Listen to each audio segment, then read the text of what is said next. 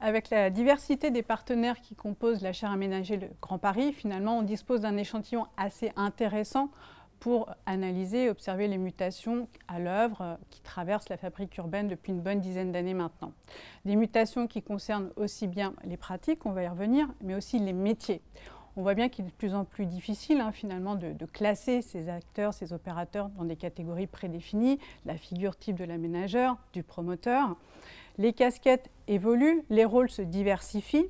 Pour exemple, hein, on voit bien euh, parmi nos, interlocuteurs tous ces acteurs plutôt développeurs ou promoteurs qui remontent sur la chaîne de l'aménagement, qui créent des directions, hein, des projets urbains.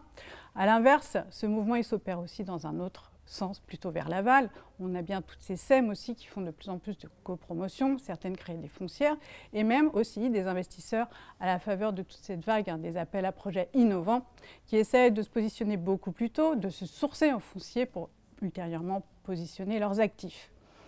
Tout ce mouvement est assez bien décrit par les travaux sur euh, l'urbanisme négocié, l'urbanisme de projet, et euh, on voit bien aussi qui se caractérise par des pratiques beaucoup plus transversales, hein, tous nos interlocuteurs l'ont souligné, beaucoup plus horizontales, où l'objet est de créer du consensus, de la négociation.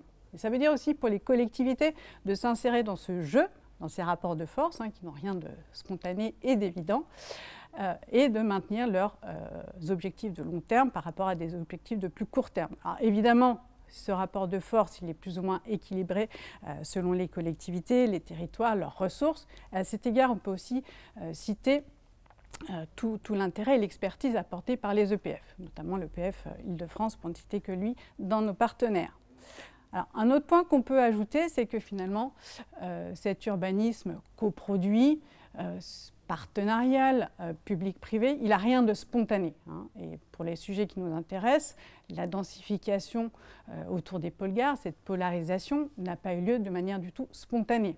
Ça nous fait dire d'une certaine manière que l'aménagement urbain, l'aménagement du territoire, ne s'enferme pas aussi facilement dans, des modèles un petit peu hors sol et mécanistes, et que concrètement, euh, si on veut résoudre cette équation de l'aménagement, hein, eh bien, il faut commencer peut-être par en poser tous les termes euh, et travailler cette complexité, travailler à relier ensemble euh, les dimensions.